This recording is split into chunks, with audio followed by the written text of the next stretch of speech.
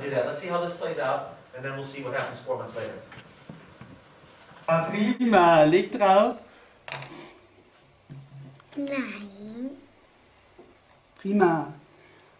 Anton, was ist das? Das ist ein Das ist? Pferdchen. Wie macht das Pferdchen? Prima, Anton, fein. Was ist das? Schmetterling. Prima. Leg drauf. Prima. Oh, der du. Was ist das, Anton? Was ist das? Ein Wow. Mach's besser. Was ist das? Ein Wow, Hund. Hund. Hund. Wie macht der Hund? Wow, wow, wow. Prima.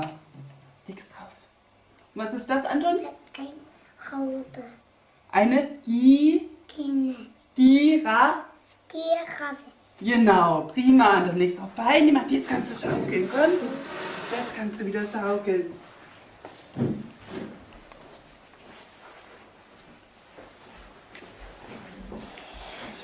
Hey. Hey.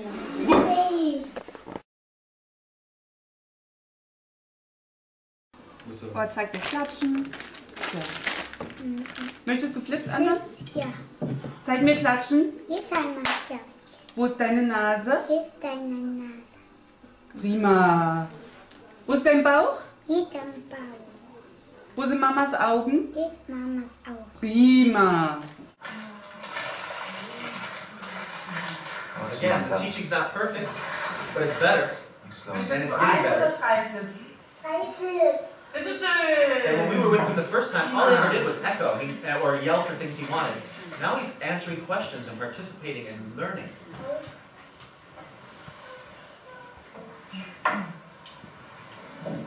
Dreh dich.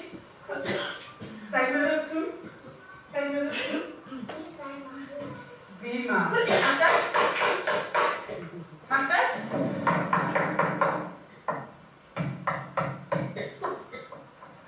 Zeig mir.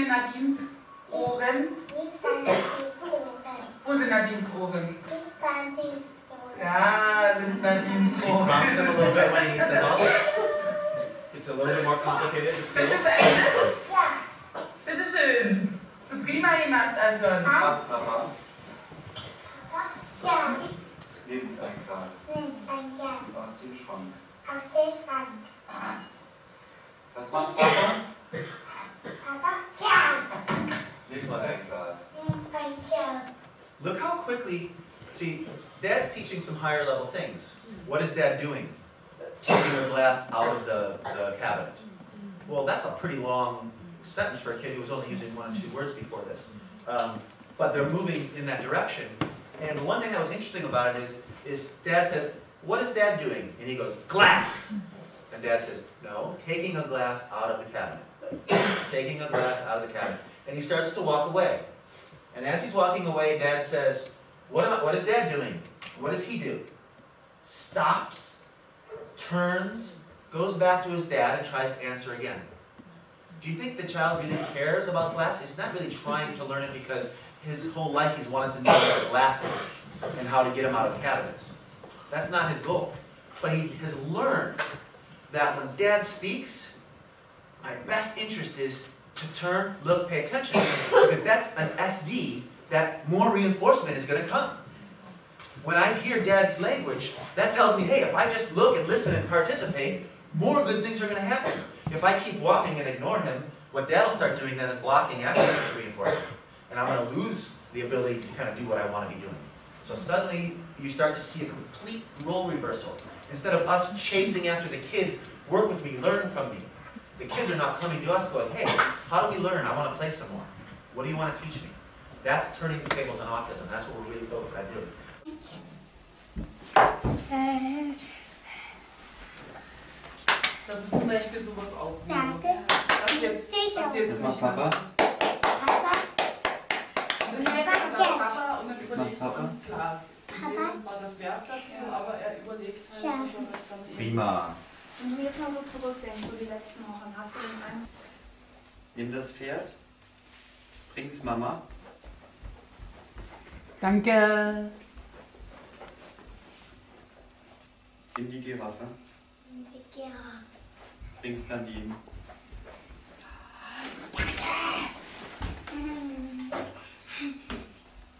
Sage, Geh zu Nadine und hol den Elefant. geh zu die, wo die Elefant. So, und was soll ich jetzt Prima. machen? Papa. Bring Papa. What Dad was saying was, okay, holding up two animals, saying, take the giraffe and bring it to Mom, or bring it to Nadine. So he had to follow the instructions of going, seeing which animal, taking it, knowing who to go to, and bring it to them. And then he was giving them another instruction. Go to Nadine and get the elephant. So then he had to think, okay, I have to go to someone, and I have to get something, what do I have to get? Oh yeah, the elephant, and then Dad forgot to tell him where to take it. So he, he, he was following the instructions, he gets the elephant, and then he stands there like this and goes, hmm. And then everybody realizes, oh, we didn't tell him what, what it is we want him to do. Now, important thing to realize is that he doesn't have to do any of this. No one is physically forcing him to do any of this. If he chooses not to do it, he doesn't have to do it. But what happens is access to, to that kingdom over here, where he's the prince and the king and queen may give you instructions, but they're also going to give you all kinds of attention and games and toys. That's all going on while he's doing this. If he ever chooses to not do this and walk away, he can go back over here and be the king of his own castle. But we've shown him that that's not a place he wants to be. There's no benefit in being here. There's no fun here. There's no games. There's no extra toys. There's no tickles or hugs or all that kind of stuff doesn't happen over here. So he's choosing to spend his time over here, which gives us the access we need to really start to see the kind of progress he's capable of. Now again, this is six months. This took six months to get there, but it took um, five full days of Knospe ABA service with us. This was the sixth day. So that's pretty good considering we're only charging for eight hours a day, six days over six months. That's pretty good progress. And that's what our intention and our goal is, is to make families independent in their ability to use these techniques to help. And then we also go in and then we work with the kindergarten, we work with the school, and we teach them how to do it as well. And once the child's entire adult surrounding knows how to interact with them in these kind of ways, the child's entire life is about learning. Not just when they sit at the table and have chocolate chips there to be given to them when they do what they're supposed to do.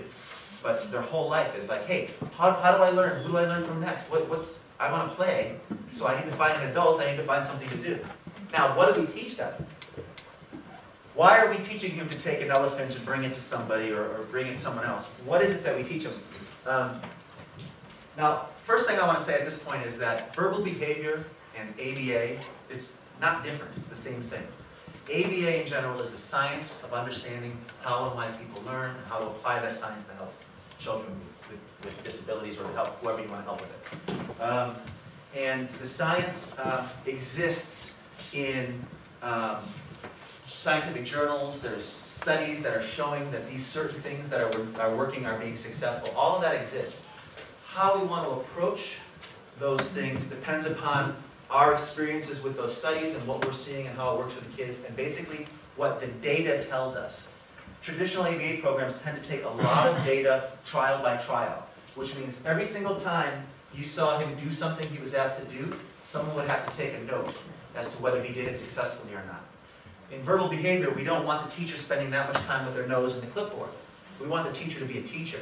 So we do probe data, where we only take, we only take trials the first part of the session, where we try everything one time, where we take data on it. And the rest of the time we're with the child is just all day long, we're just teaching and playing and pairing. And then we take probe data again the next day.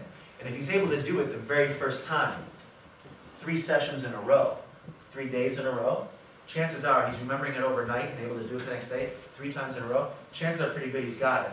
So then we only start testing it once a week. And if he's got it once a week, then we only look at it once a month. And if he's got it once a month, then he's pretty much, he's got it.